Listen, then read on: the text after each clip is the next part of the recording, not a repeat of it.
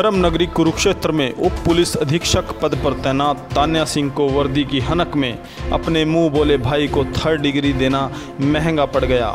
उसके खिलाफ न सिर्फ़ आपराधिक मामला दर्ज हुआ, बल्कि हरियाणा पुलिस विभाग के डीजीपी ने मामले का संज्ञान लेते हुए उन्हें सस्पेंड करने के आदेश दिए हैं।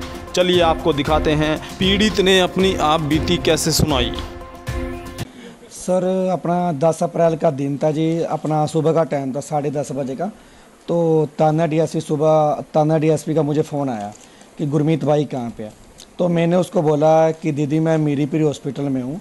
तो वो मुझे बहुत जैसे लगा कि गुस्से में आन के बोली कि मुझे कहती है कि फटाफट मेरे घर आ जा।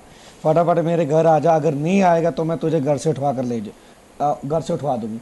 तो सर, उसके बाद फिर मैं जब अपना आधे पौने घंटे बाद उसके घर पहुँचा तो जब मैं उसके घर पहुँचते सर ही उसने, मैं उसको मिला, वो बाहर आ गई, अपने घर के बाहर आ गई। पहले तो सर उसने मेरा एक मोबाइल था ए फिफ्टी जो सा मैंने नया मोबाइल लिया था, और मेरी जेब में सतारह, अठारह हज़ार रुपये था, वो उसने निकाल लिए।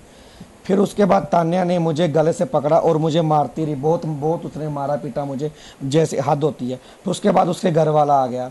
जो सा जिसका नाम था अभिजीत, उसके बाद एक बलकार जो सा अपने आप को बता रहा था कि मैं चीखे का रहने वाला हूँ। दो अन्य व्यक्ति और थे, जिन्होंने मुझे सर इतना मारा कि मेरे बाथरूम वाली जगह जगह पर भी उन्होंने स्टिकनी भी लगाई जो सी कपड़ों पे लगाते हैं, और उसके बाद मेरे यहाँ पे एक लातों पे एक मुसला, अपना डंडा होता, मुसली फेरेगी। उसके बाद सर ये ना, मेरी दाढ़ी पे पकड़ कर तान्या और ने दाढ़ी के वाल पाड़े गए। बहुत मुझे मारते रहे मारते रहे, उसके बाद मुझे ना वो बाहर गेट पर ले गए। बाहर गेट के पास ले जाने के बाद वहाँ पे ना एक लेटरिन वाला बाथरूम बना हुआ था। वहाँ पे सर मुझे कुत्ते वाली रस्सी के साथ और संगली के साथ उसने बाँध दिया। ताने और इन पाँचों ने मुझे बाँध दिया। फिर वहाँ पे सर मुझे बहुत मारा, इतना मारा सर कि बस मुझे वहाँ पे एक बार मैं बेहोश भी हो गया।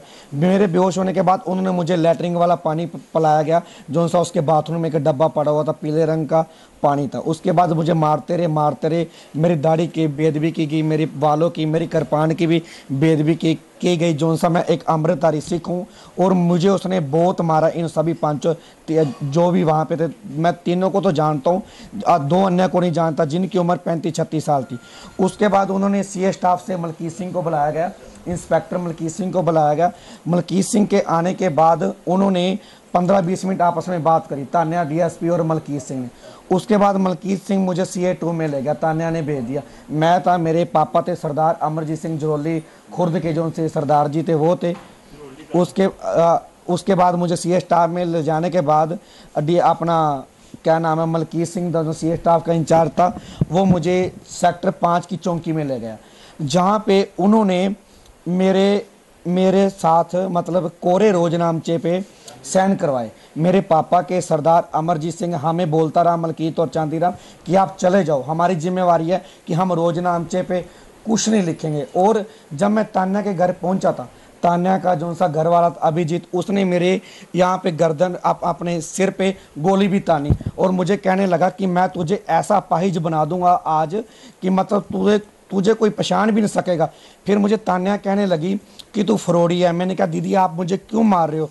मैं दीदी कहता रहा और वो उसका घर वाला और तान्या मुझे माँ बहनों की गंदी गंदी गालें निकालते रहे। उसके बाद फिर मैंने पूछा दीदी कहती तू बब्बर खालसा का आतंकवादी है? कहती मैं तेरे ऊपर तीन सौ छिहत्तर का पर्चा दर्ज करा दूँगी चार सौ बीस का पर्चा दर्ज करा दूँगी। तू पहले मान कि मैं मतलब आ, आ, मतलब कि बब्बर खालसा का आतंकवादी ये कहती रही मुझे बार बार कि तू मान।